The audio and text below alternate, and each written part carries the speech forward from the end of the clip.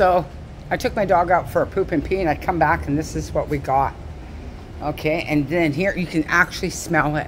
We had these power washed. It cost quite a bit of money. But, you know, we got fucktards on this uh, freaking floor that don't mind their dog having, you know, using our floor for a bathroom. It's what we got to put up with. It just is pathetic. I hate today. I really hate it.